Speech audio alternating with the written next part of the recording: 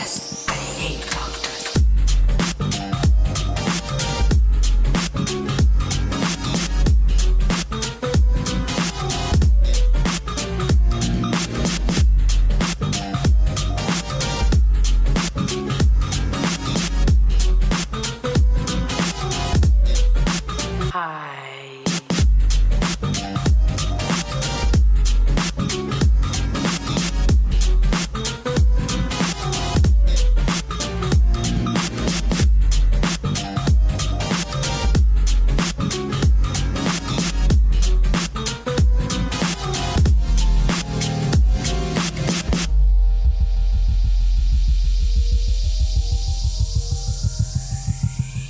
this massive drink of water